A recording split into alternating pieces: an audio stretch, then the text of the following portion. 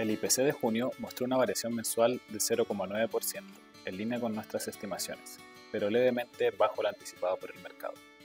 De esta manera, la inflación a 12 meses evidencia una variación de 12,5%, dando cuenta de una aceleración en relación al mes previo y su mayor tasa desde junio del año 1994. En este mes, destacar los incrementos en las divisiones de alimentos y transporte. Así, productos como el pan y los cereales mantienen incrementos relevantes, cuyos precios se han visto elevados por el conflicto internacional. De esta manera, la división de alimentos alcanza niveles de 18,5% en variación de los últimos 12 meses. Mientras, el transporte aéreo nuevamente mostró un incremento relevante, anotando un alza mensual de 13,4%.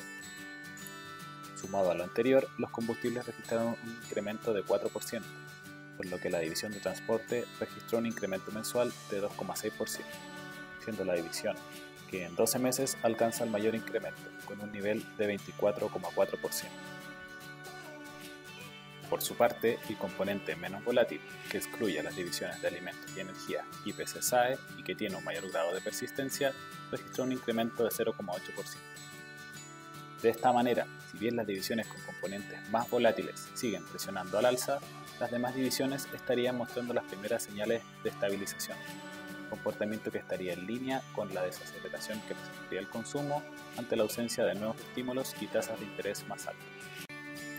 Con todo, estimamos que la inflación superará el nivel de 12% durante los próximos meses, para luego finalizar este año en niveles de 10,2%. La mayor depreciación del tipo de cambio se sumaría a los factores que aún producirían presión en los precios, compensando de manera parcial el menor dinamismo del consumo. De esta manera, consideramos que el Banco Central de Chile elevaría su tasa de política monetaria en su próxima reunión, donde estimamos alcanzaría un nivel de 9,5%. Así, desde el punto de vista de los inversionistas en la renta fija local, es importante mantener una mayor ponderación de activos en web, en este contexto de mayores presiones en los precios de corto plazo.